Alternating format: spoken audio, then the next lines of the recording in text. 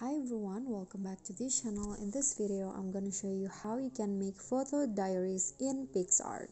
So here, what you need to do is open the PicsArt app and then just go to collage and select 9 photos.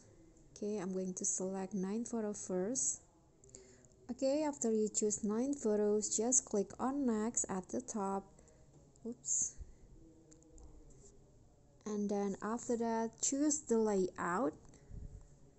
Okay I'm going to choose this layout right here and then change the ratio into Instagram story. And then uh, lower the thickness of the border into zero. And now click on the arrow at the top the left uh, right arrow here.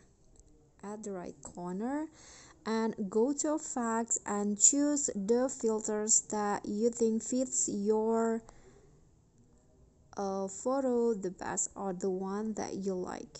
Okay let's say I'm gonna choose this one.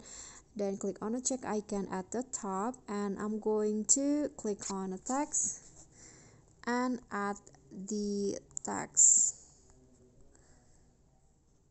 like this click on the check icon and then I'm going to add the highlight.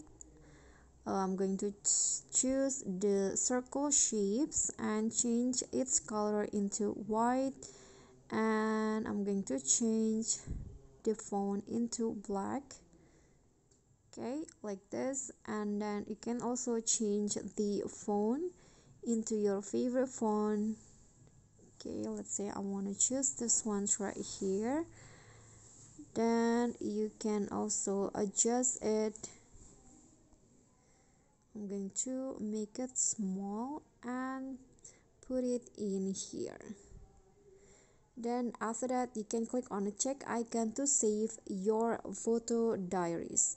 Okay so that's all for me. Thank you guys so much for watching. Don't forget to like comment subscribe and click on the thanks below. I'll see you all in the next tutorial. Bye